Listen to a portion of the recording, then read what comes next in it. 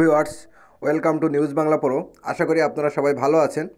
আপনারা সবাই জানেন যে অনার্স দ্বিতীয় বর্ষে ইংরাজি একটি আবশ্যিক বিষয় সবার জন্যই আছে, যারা আর্টস, সায়েন্সে আছে সবার জন্যে।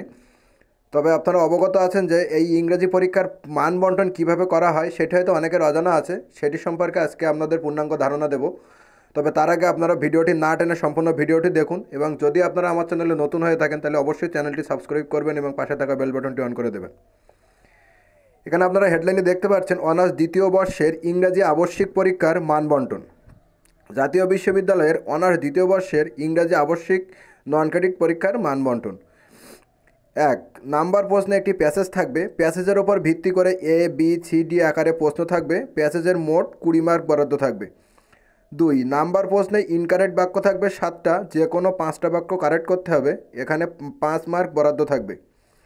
তিন, number poster advertisement notice slogan এই চারটার ভিতরে যে কোনো দুইটা থাকবে, একটা লিখতে হবে। এখানে চার মার্ক বরাদ্দ থাকবে, এত পড়ার থেকে এগিয়ে, এড়িয়ে যাওয়া ভালো। আরও না পড়েও লিখতে পারবে, শুধু নিয়মগুলো জেনে নিলে।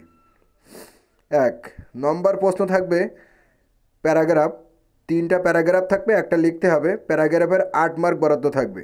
দুই নম্বর প্রশ্ন, দুই নাম্বার প্রশ্ন থাকবে, অ্যাপ্লিকেশানের লেটার যে কোনো একটি উত্তর দিতে হবে, এখানে আট মার্ক বরাদ্দ থাকবে। তিন নাম্বার প্রশ্ন থাকবে ইজি বা কম্পোজিশন তিনটা ইজি থাকবে, একটা লিখতে হবে, এখানে পনেরো মার্ক বরাদ্দ থাকবে। চার নাম্বার রিয়ারেন্স থাকবে, সাতটা যে কোনো পাঁচটি করতে হবে, এখানে পাঁচ মার্ক বরাদ্দ থাকবে। পাঁচ নাম্বার ডাব্লিউএস কোশ্চেন থাকবে সাতটা, যে কোনো পাঁচটি করতে হবে, এখানে পাঁচ মার্ক বরাদ্দ থাকবে। ছয় নাম্বার আর্টিকেলস থাকবে, এখানে পাঁচ মার্ক বরাদ্দ থাকবে। সাত নাম্বার প্রশ্নে রাইট ফর্ম অফ ভার্বস থাকবে, সাতটা যে কোনো পাঁচটি করতে হবে, এখানে পাঁচ মার্ক বরাদ্দ থাকবে। চার নাম্বার প্রশ্নে ছোট প্যাসেজ থাকবে প্যাসেজকে প্যাসেজকে পাঞ্চুয়েট ও ক্যাপিটালাইজ করতে হবে, এখানে পাঁচ মার্ক বরাদ্দ থাকবে।